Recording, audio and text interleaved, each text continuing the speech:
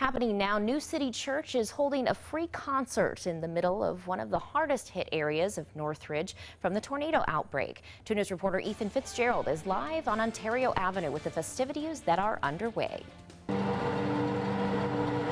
Yeah, Natalie, the concert just getting underway. Actually, they're just finishing up their final mic checks. We're here at the intersection of Fairfield and Ontario in Northridge. This is a neighborhood concert, so you're going to have to kind of wind your way again to the intersection of Fairfield and Ontario. This event will feature free food, music, and entertainment, as well as some resources because, again, this was one of the hardest hit areas due to that tornado outbreak.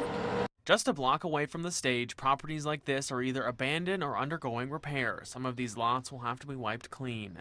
The stress behind all of that is exactly why this concert is coming to Northridge. The whole purpose of this is to be able to give the tornado victims and just a chance to just come and just chill and relax and put all the other stuff off to the side. The New City Church has been working around the clock to help where they can, and this is the first time they've put on an event of this scale. But rest assured, this neighborhood really appreciates it. Hey, I think that's the best thing they ever done. Everybody I talk to is real nice. Leroy has called Northridge home for 70 years, and a tornado won't change that. Way I look at it, you just overlook it. You're alive. You ain't dead.